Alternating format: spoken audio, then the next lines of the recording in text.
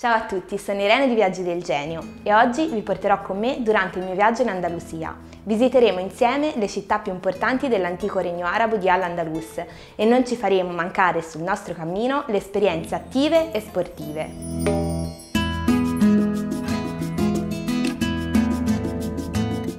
Iniziamo il nostro viaggio da Malaga. La città fu fondata dai Fenici in seguito conquistata dai greci e dai romani, che ci lasciano ancora oggi numerose testimonianze, come il teatro romano nel centro della città. A partire dall'VIII secolo d.C. fu inglobata nella regione di Al-Andalus, sotto il controllo dei Mori, e divenne un importante centro economico e culturale.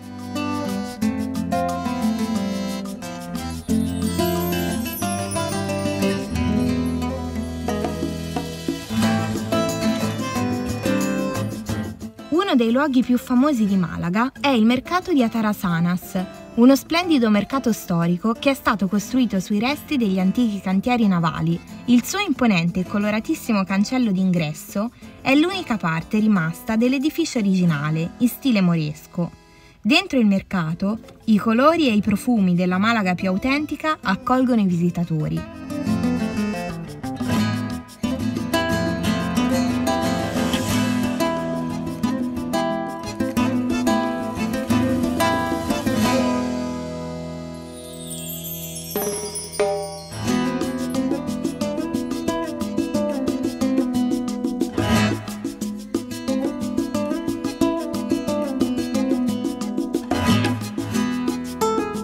E nel nostro viaggio in Andalusia sulle tracce della cultura araba non potevamo farci mancare un giro nella città di Cordoba. Cordoba fu fondata dai Romani nel III secolo a.C., ma fu proprio dopo la caduta dell'impero romano con gli arabi che raggiunse il suo periodo di massimo splendore. La grande moschea di Cordoba è una delle principali espressioni dell'arte arabo-islamica in Europa L'interno si presenta come la perfetta fusione di elementi islamici e cristiani. Con le sue 1300 colonne fu per anni la moschea più grande del mondo.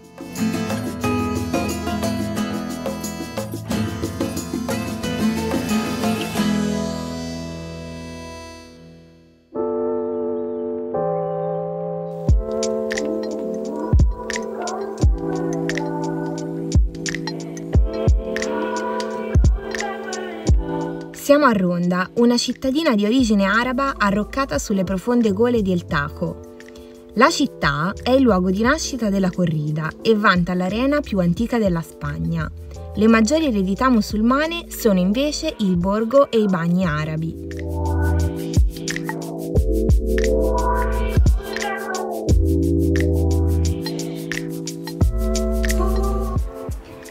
È il punto di arrivo delle miniere d'acqua che si trovano proprio sotto la eh, città di Ronda ed erano molto importanti perché per secoli hanno costituito l'unico punto di approvvigionamento di acqua per la città di Ronda.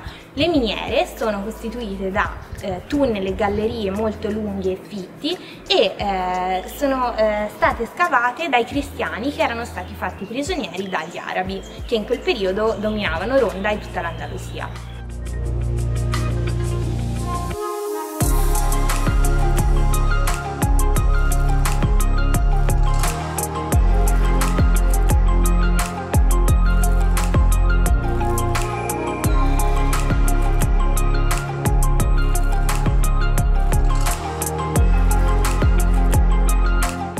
Siamo nell'area naturale di Ardales e El Chorro, a 40 minuti da Malaga. Questa zona è diventata famosa in tutta Europa grazie ad un cammino molto suggestivo, il Caminito del Rei. Il Caminito, fino ai primi anni 2000, era considerato il sentiero più pericoloso del mondo.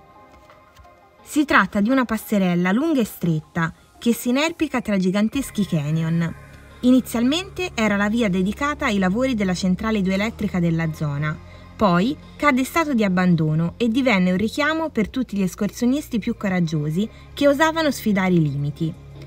Nel 2015, dopo alcuni incidenti, il cammino fu ristrutturato e messo in sicurezza. Oggi è uno degli itinerari a piedi più suggestivi di tutta la Spagna.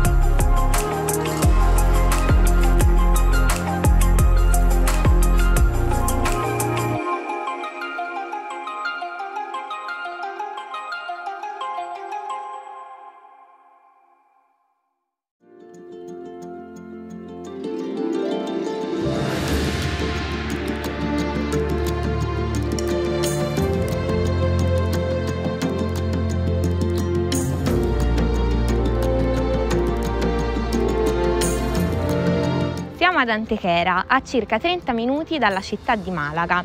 Qua, nell'età del bronzo, intorno al 2500 a.C., furono costruiti dalla popolazione del luogo due importantissimi tumuli funerari. Questi tumuli nel 2016 sono stati dichiarati patrimonio mondiale dall'UNESCO. Quando furono scoperti, intorno al Novecento, proprio qua furono trovati più di 100 corpi umani, proprio a simboleggiare come questi luoghi per la popolazione locale del tempo avevano un importante valore sacrale.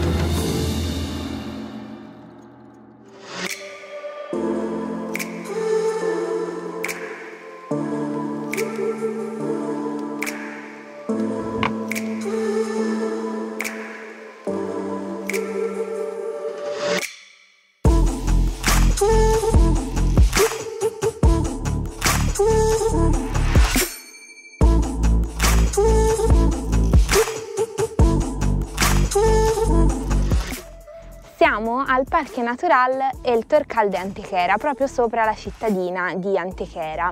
Queste formazioni rocciose si sono originate durante il periodo giurassico, circa 200 milioni di anni fa e camminiamo sul fondale di eh, un antico mare e queste sono proprio delle rocce calcaree che si sono formate in seguito alla sedimentazione di vari strati di animali marini.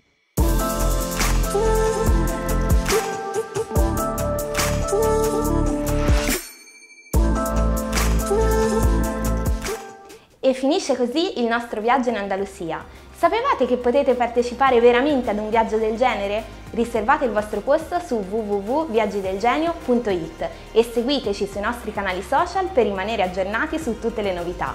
Ciao a tutti e al prossimo viaggio!